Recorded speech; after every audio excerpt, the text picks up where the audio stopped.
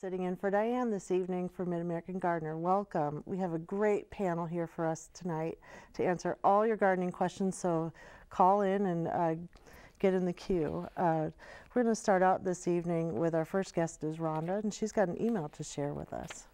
Yeah, I'm Rhonda Ferree. I'm a horticulture educator with the University of Illinois Extension, and I cover Fulton, Mason, Peoria, and Tazewell counties right in the middle of the state. And my expertises are more in horticulture, landscape horticulture, and uh, I like to do houseplants. So I picked a couple of houseplants today for my email questions. Uh, the first one here is about a palm and their uh, palm, a very large palm that you'll see in the picture here that has they've had for about a year and it thrived on their patio last summer, but they moved it inside for the winter. Uh, they actually potted it into a concrete planter and started feeding it in the spring and it has started to turn brown and wondering if that uh, plant is, uh, if they're overfeeding it or if it's a concrete plant or what's really going on. So I would say that a couple of things to think about. One would be that the most common way people have problems with houseplants is that they overwater them. And then the second thing would be it's a palm, and so I would really be concerned about the light that's in there. And, and it's really hard to grow a palm actually indoors. Mm -hmm. So probably I would think that it would be the light condition. Yeah. I've always had problems with spider mites with trying to grow palms inside that they seem to get it pretty instantaneously. Do great out on the patio mm -hmm, for mm -hmm. the mm-hmm. summer, but then bam. Yeah, yeah. So uh, it, it's it's probably a temporary plant yeah. at best. Yeah. Enjoy it while it lasts. yeah. Thanks, Rhonda. Uh -huh. Shane, what do you have for us? I'm uh, Shane Cultra from Country Arbors Nursery and, and Cultra Nurseries in Menards, Illinois. I am a fifth generation nurseryman, so over the most of my life, I've been answering questions about why plants died, what the plant is, and where should I put this. And I can probably answer some similar questions here as well. And we've got a, a great question uh, today that somebody sent in a picture, and it says, wondering if I could identify these little ball slash things that I found in the soil while pruning. And, and I knew what it was immediately, but I passed it around the office to see who could get it. And everybody knew that, you know, what it was, but they weren't quite sure. But it turns out it's, it, I'm pretty sure it's the top of acorns. So I think it's all the, the, some squirrels have done a little work and taken the acorns and hidden them and then kept the caps in a little storage area. So it's not going to hurt anything. It's, uh, it'll just compost into the ground eventually. And I imagine that there's other piles somewhere around the yard with a lot more acorns, uh, acorn tops, and the acorns are all over your yard. And that's what the squirrels are running back and forth. So I'm pretty sure that's what it is. Uh, so it won't hurt anything. Great. Thanks, Shane. Yeah. Jennifer, what did you bring for us? Um, hi, I'm Jennifer Fishburn. I'm a University of Illinois Extension horticulture educator serving Sangamon, Menard, and Logan counties. Um, I like to talk about herbs and vegetables um, and invasive plants. And tonight um, I brought show and tell. Um, this is what this plant looks like right now. It still has the green leaves attached to it, um, as many of our invasives do at this time of year. This is a Callery pear and it's coming up in a flower bed. It's a couple feet tall at this point. They do grow very aggressively. Um, and one of the ways that I know that this is a Callery pear is, um, well, first of all, an invasive is it came up in the middle of a flower bed where it wasn't wasn't planted. Um, the other thing is, is they will develop thorns on them, um, and this is a plant that you at this time of year would be very easy to remove from your from any of your flower beds or, or plantings. Simply with a, a, little bit of a tug or dig it out. Um, it should be very easy to remove. Um, so that's what I brought tonight. Oh, thanks, Jennifer. Uh, next, we're going to go into the Did You Know segment on rhubarb. A native plant of China, rhubarb was grown and traded for medicinal purposes as early as the 16th century rhubarb gained popularity as a food and vegetable source by the 19th century.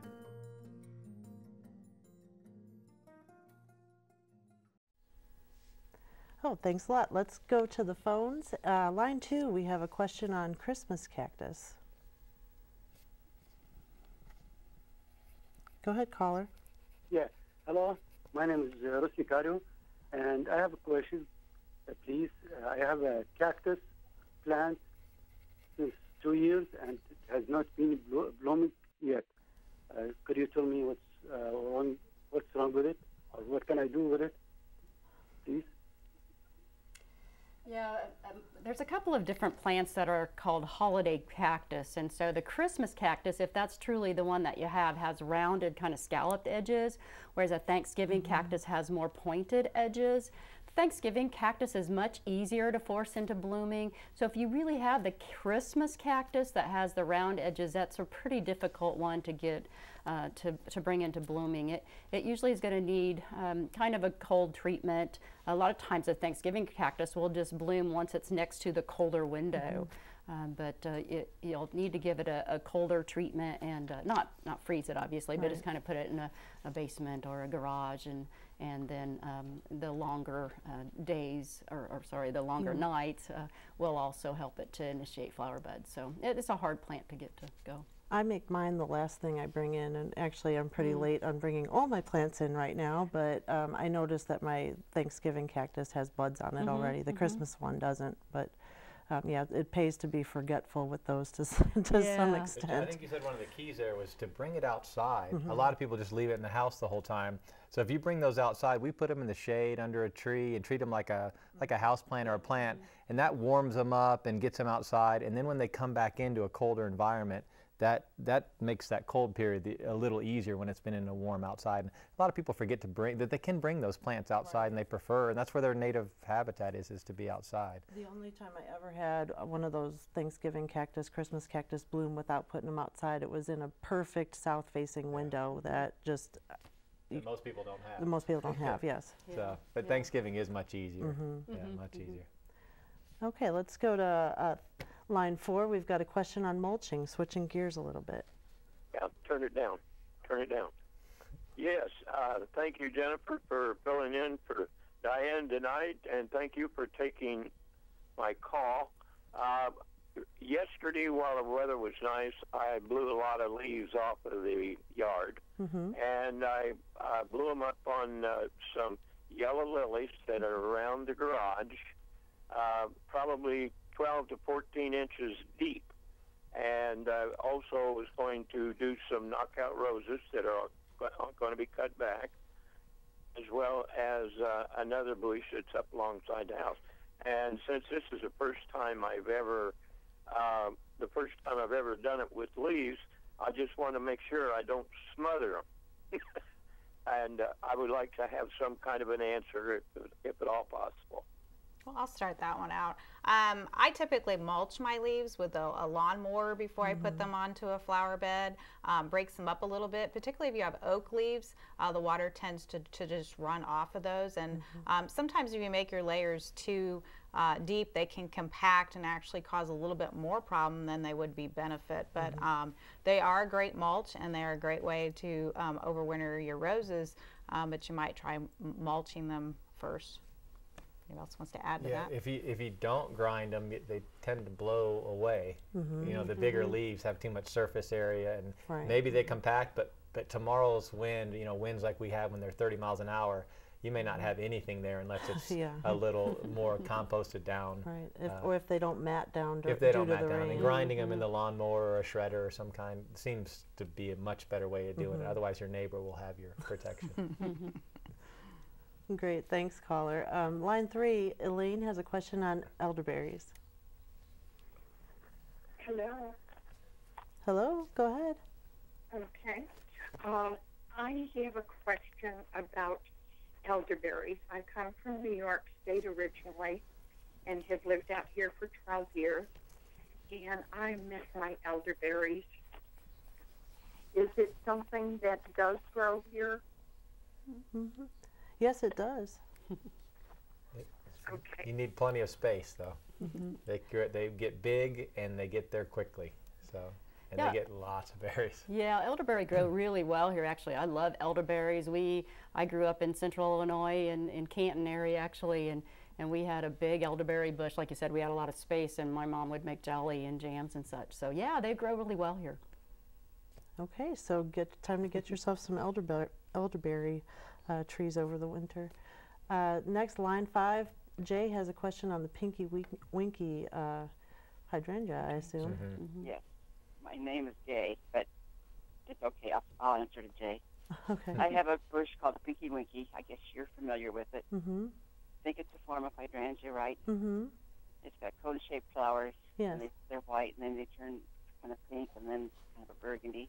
hmm Okay, they bloomed beautifully this year, but the bush is getting really big. Can I cut that back like now? Yeah, it wouldn't. It wouldn't hurt to trim it back. I mean, uh, I'm amazed how many people don't like the flowers. You know, the dried flower look. I have people come in all the time say they Really? don't like it, and to me, it's one of the Huh. nicest things. But I will say that the, the plants have grown so well this year that the flowers are so large that it might be a snow issue. So actually, trimming back the heavy tips back wouldn't be a bad idea. But you could do it now. It, we we do it all the time, and we do some trimming when you're not supposed to, just because of space issues. Sure. But on the paniculata hydrangeas, which that is, we take the flowers off all the time and tighten up the head a little bit without any problem, without affecting the growth and the blooms for next year. So Okay, well, it can it can definitely be done as, as proven. okay. Thanks for that tip. Thank you. We're going to go um, another round of uh, show and tells and emails here. Rhonda, what was your next? Yeah, so I had a, an, another house plant. Actually, this one is titled Rusty Fern, and they had a, a fern which I'm thinking is a Boston fern that um, they've uh, first fern they ever had luck growing actually, and they noticed that the fronds had a really rusty appearance.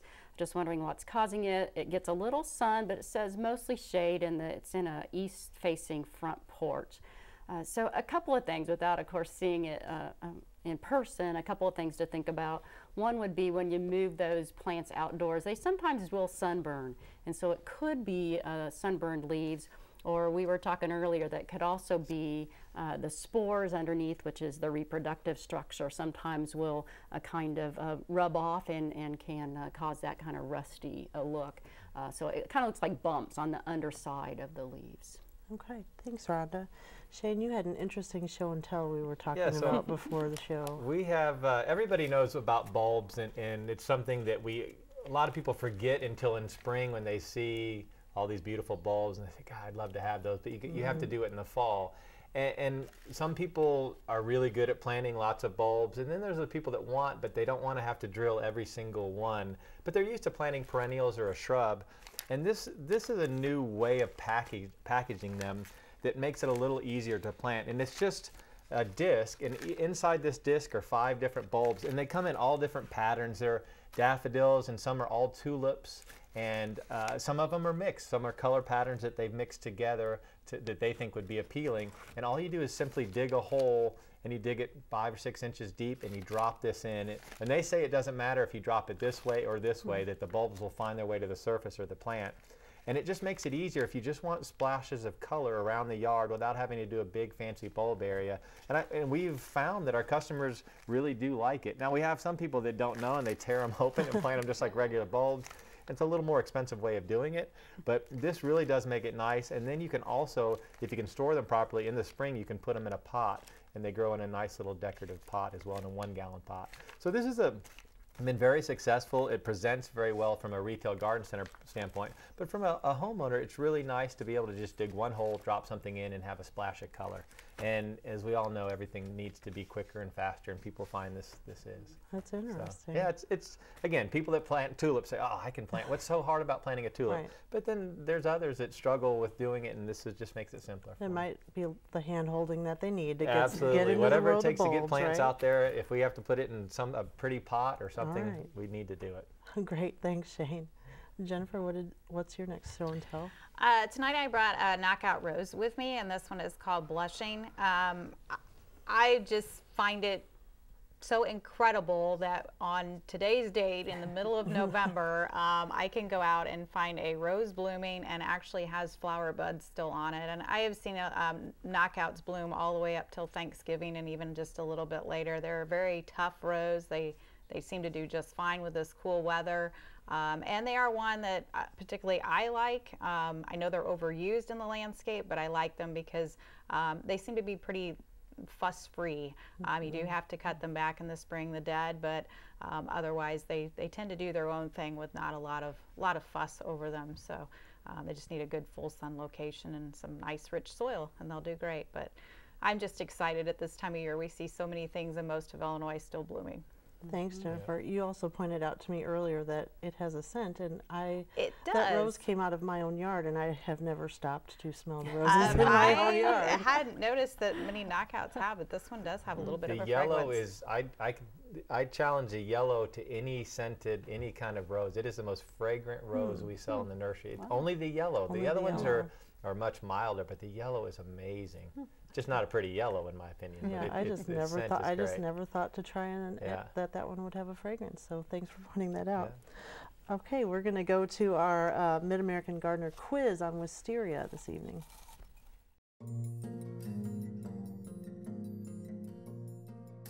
The wisteria in Sierra Madre is said to be the world's largest flowering plant.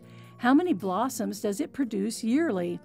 A. 15,000, B. 150,000, C. 1,500,000, D. 2,500,000.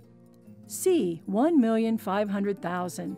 The wisteria produces over 1.5 million blooms and has been growing for over 100 years. Thanks for that. Uh, we're going to go back to the phone lines. And line six, John has a question on castor beans. Go ahead, John. Yeah, Jennifer. Hi. I planted uh, castor beans this year to have some to put in the mole runs next year, and uh, they are 19 feet tall, and uh, the trunk is six inches in di- diameter. How am I going to get rid of those? Oh wow! A big It's been a banner year for castor beans. You're you are the second person to tell me that they had giant castor bean plants in their yard. Um, I imagine they'll eventually come out of the ground pretty easily once they die back. Um, anyone else have any thoughts Well, I'm on sure that? it's very similar to many of the other annuals like sunflowers. I mean, they will die back. Um, and if they don't, you know, get a shovel in the spring, they should work themselves out fairly easily. Yeah, it's gonna it's gonna the plant's gonna die. Right. So it, yeah, it'll come out. Maybe just not now. Yeah, no, it's not right now. If you know any kids, you maybe get them out there. I remember having sword fights with uh, sunflower stalks growing up. So Don't let them get the beans. Yeah, don't Not eat the beans. Yeah. Castor beans are poisonous. Yes, very poisonous. Great point. Okay, let's go back to our phone lines. Line two, Shirley has a question on lilies of the valley. Go ahead, Shirley. Uh, hi, I'm glad you took my call. Um, I managed to get three little lilies of the valley started this summer, and all all that came up was like two green leaves, and it didn't get any bigger. Now I just took all my flowers out of the garden, and those lily of the valley leaves were all brown and they were dead. Mm-hmm. My question is, the root system that's left underneath, will they come back in the summer? Next summer. Yes. Yeah, they Short answer is yes. They will. They will come back. They should. And lily of the valley is generally pretty vigorous. And in 10 years, you will have Aggressive. enough to share with everybody my in the neighborhood. my grandmother used to call them lilies of the alley. She hmm. hated them because they grew so vigorously. It's actually one of my absolutely favorite flowers, and so I just love the again the fragrance of mm-hmm. the lily of the valley. Uh, but it's one of those. The first year when I plant them, they mm-hmm. seem to kind of sleep a little bit, and then they'll leap the next year. So mm-hmm. yeah, I Great. think you'll be fine. Okay, let's get a couple more calls in here. Line three, Peggy has a question on blueberries. Hi, my question is what is the trick to grow blueberries in Illinois? and is wet moisture, is there a certain type that I need to get? Well, the or the, the wet, first oh, dry? The first step is to know your soil pH. That's that's the most important things with blueberries. Um, most most places in Illinois, particularly Central Illinois, we struggle with blueberries because our pH is too high. They need a very acidic soil. So the very first step that you'll have to do is amend that soil um, to lower that pH. Maybe even test it again um, a year later and make sure you have the right pH uh, to get started on it. Um, that's your first hurdle. Um, if you just buy one to plant it, it may do okay, but you it, it will struggle. It, it will not usually do well in our high pH soils at all. Yeah, and our, our customers struggle with two other main things. And one, it likes a really sandy soil, and our heavy soils of Illinois are absolutely not right for it. That's why you find them on the coast of the Michigan side of the lake and those kind of areas. So you need to add quite a bit of sand or stuff to to aerate that. And then the other thing is rabbits adore them. So it's, Yes. it, there is no more favorite plant in the garden besides bl- before blueberries. They will go come to your blueberries before the snow even hits. So if you leave them out in the open, you will not have any blueberries. They Yeah. have to be caged or even repellents are, are don't do it. They, they really need to be caged uh, because they will eat all of them. If you have a big field of them, it's not a big deal. You can give a couple up. But if you've got one in your yard, you mm-hmm. won't if you don't protect it. I've, Now I've had good adva- luck growing them in. I'm sorry. Oh, go ahead. Go I was going to say the, the advantage for me is I live in Mason County in a sand, and so I have pretty uh, low pH soils already, and it's very sandy. So I Yes. actually can grow blueberries in, perfect, in yeah. central Illinois pretty well. I gave up trying to grow them in the ground, so I did them in a container. Um, There's a couple varieties that are, Yeah, pot are crops small. that are yeah. really good for. Top hat is one that only gets the to be about a foot tall. Yeah, It does pretty and the well. new Jelly Belly. yeah, the new Mhm. varieties. But top hat's been a traditional good pot growing one. You can keep it off the ground from the rabbits. Yeah. Another alternative, have you guys grown honeyberry? No. That's one that it's a honeysuckle that it, um, it's a type of honeysuckle, but it looks like a an oval shaped blueberry, and it doesn't have the issues with pH here. So we've done pretty well with that one Yeah. too. Okay, well, let's go back to the phone lines. We've got uh, Bob has a question on petunias in winter. Uh, yes, uh, my wife has uh, two hanging baskets with uh, yellow petunias in them. hmm They're really doing well, and we was wondering if we can bring them inside and they will keep over the winter. And if we do, should we change the the soil they're in to a new soil for the for bringing them in the house? That's what I love about this show. You know, I've been doing it 20 years. I don't think I've ever had a petunia in the house or anybody asked me about it. You know, I, that's a that's actually a good question. Do you, any of you have any experience with bringing a petunia? That's one Uh, plant that's I've never I've even never talked about. either. I've never tried it. I, I don't see why you couldn't, of course, try it. You can try anything. Um, I would think you would need to cut it back um, because it's going to struggle inside. So you get rid of some of that extra foliage, cut it back. Um, Watch the watering. Well, I yeah. Would, Maybe one over water. keep it on I- the light. I actually have petunias growing in my office right now, and they're actually in an AeroGarden, but um, they grow really well, and and um, and it's not. A, of course, it does have some supplemental lighting, but I think if he cuts it back, he, he Yeah. might be okay. Okay. Yeah. Okay, let's go back. Uh, we've got another question on castor beans, line five. Ron. Yeah, I got castor bean seed pods, and I'm trying to get them to pop open. How is there any way you can tell me how to do it? I think it's just whether they get dry enough, isn't Yeah. it? Yeah, they're probably too green. Could yeah, be they're too probably green. too green. Give them a chance, Yeah, they'll dry out here. It's been an unusual year this year mm. to say the around least, the Midwest. right? So things aren't popping when they're supposed to pop, but they'll do it on their own. yeah, they should. We even cut them and bring them in and put them in the window and just let them dry out in the winter too. Well, and a lot of people cut them and remove them because of the poison Yeah. factor, too. Yeah, we, we collect the seeds, and Okay. and yeah, you got to keep the, the seeds away from people. Yes, You don't want it mixed anywhere near that. so. Exactly. Okay. Well, thanks for that. We have a another question um, on Shane's show and tell. Oh boy, You're on the spot, Shane. what did I do? Go ahead, call. Hi. Hello? Hello. Go ahead. Um, Shane was talking about the daffodils, or showed us the daffodils in the package Mhm. that we can plant. Um, and I was wondering if that would be an effective barrier for the squirrels, because whenever we plant bulbs of any kind, um, the squirrels have a tendency to dig them up and eat them. And I wondered if that packaging would keep the squirrels away from them. Well, I've never thought of that as a marketing technique, but I, I, I don't think it would. Honestly, though, they probably would get through this just as quickly as they would the soil. But uh, it would not be a bad idea for them to come up with a paper product that's treated with some repellent Oh, that, yeah. that goes on there uh, and is pre-treated for for squirrel. I think I think you and I can share the residual money from that new invention he just said. We heard it first on the program. That's really not a bad idea, but I don't think it's gonna yeah it's gonna protect them at all. One of the things I do suggest is you could try to put chicken wire over the bulbs when you plant them, and that sometimes will deter them from being able to mm-hmm. get to the bulbs. Yeah. 'Cause Or they can't poult- scratch poultry netting is what it's called. But if you have um, deer in the area too, even the most meticulous poultry netting won't keep them away. I have a friend that did that, and the deer came by after the plants came up. Okay, we've got time for about one more question. Uh, Janet has a question online too about hens and chicks. We have some some uh, pots with hen and chicks in them, and they've done very well during the summertime. But now I don't know what to do with them uh, during the winter time. Should I bring them in, or should I leave them outside? Uh, what do I need to do with them?